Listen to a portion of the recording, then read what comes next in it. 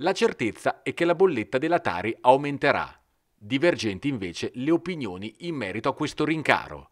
Per l'assessore al bilancio Andrea Nobili si è applicato il minor aumento possibile che si attesterà per un incremento medio del 4% per le utenze non domestiche e ancora inferiore per quelle domestiche.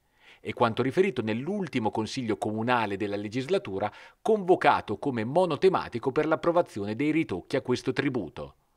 Un rincaro per Nobili che è stato ridotto al massimo dopo che il 19 aprile si è svolta l'Assemblea territoriale d'ambito che aveva deliberato l'aumento per i comuni del 5,6% dell'aliquota Tari sull'onda degli aggiornamenti del piano economico-finanziario che analizza parametri quali caro benzina, inflazione e aumento del costo dei contratti dei dipendenti.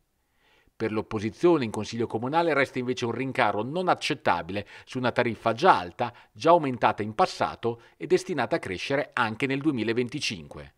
Tant'è che l'approvazione della tariffa Tari 2024 è passata in Consiglio Comunale con 10 voti contrari e 20 favorevoli contrarietà che diventerà manifestazione di protesta il prossimo sabato 4 maggio, quella organizzata a Campo di Marte di Baia Flaminia dalla lista civica Vieni Oltre in corsa elettorale per le amministrative di Pesaro.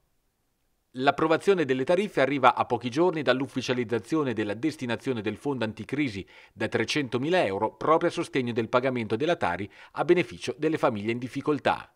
Potranno farne richiesta le famiglie con ISEE inferiore ai 16.000 euro che saranno in regola con il pagamento delle prime due rate con scadenza 16 giugno e 16 agosto. Per queste famiglie il Comune si farà poi carico della terza e quarta rata.